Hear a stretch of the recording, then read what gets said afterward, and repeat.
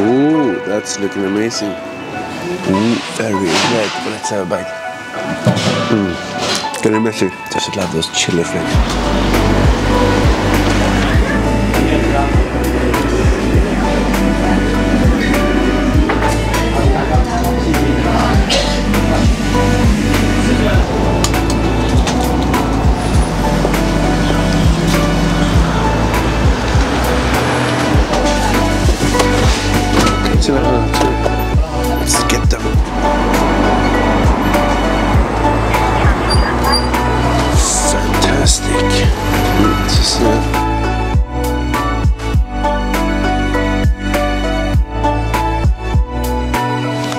Saturday morning and welcome to Beijing. I'm out walking here, exploring some of the local breakfast options. Because maybe you're wondering what to eat for breakfast in China. There's a lot of cool stuff you can try.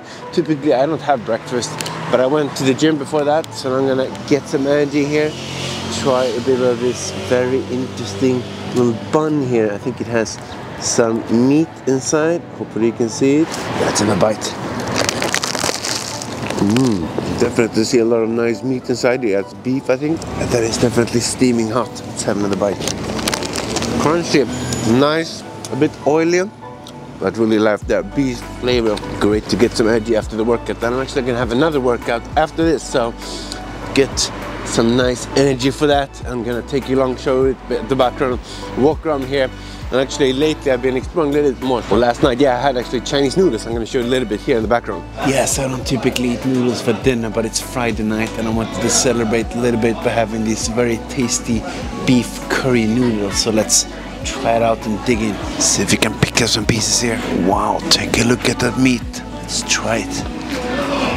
Crunchy, really nice with the red onion. That is really creamy, a lot of curry, that's for sure. Let's have another bite. And then of course you have some green veggies as well, nutritious. Let's combine it all together.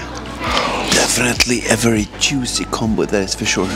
Love the spices, beef together with the curry and the noodles, really good combo. I'm gonna take my time, enjoy this amazing noodle mayhem, and I'll see you very soon again.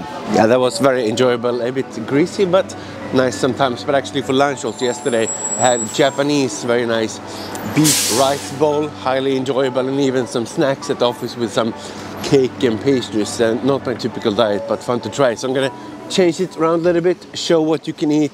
Also having a very active lifestyle, so I'm gonna be walking here. It's very cold outside, exploring, show a bit of the background, see what's up next. So this is definitely not my typical breakfast, especially not on Saturdays. I don't normally eat, but I just wanted to share a bit with you guys a bit of the local options. Ooh, looks like I almost ruined it already. Very sticky and hot. You can actually see the meat inside because they broke it. Let's have a try.